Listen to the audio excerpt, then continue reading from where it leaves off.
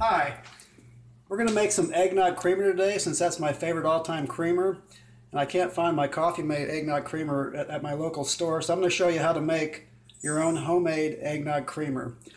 You need 3 quarter cup of sugar, 3 quarter cup of hot water that I got boiling over there, 2 cups of half and half, a teaspoon of rum extract, a teaspoon of vanilla extract, and a teaspoon of ground nutmeg. Now my hot water is already boiled over here, so I'm going to get some uh, three three quarter cup of sugar, put it in this hot water, and make what's called simple syrup.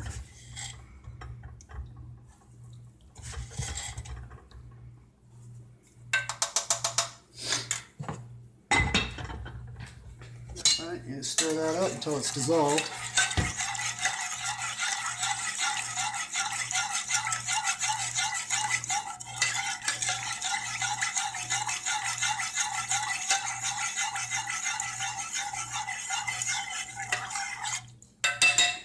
That's good enough. Then I know that I have two cups of half and half here because I used the other two cups the other day. And there's two cups left, so I'll just pour that right into this mixture I have here.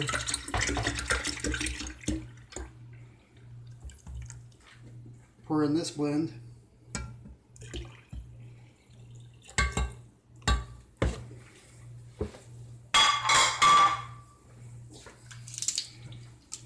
Just one teaspoon of vanilla.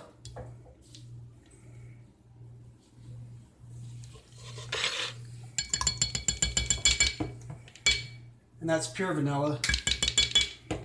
One teaspoon of rum extract. Oh, oh, went over a little bit there. And a dash of nutmeg.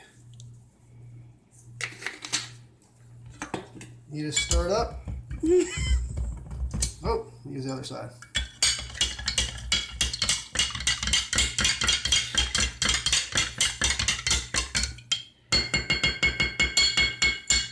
And there you go. You've got eggnog creamer.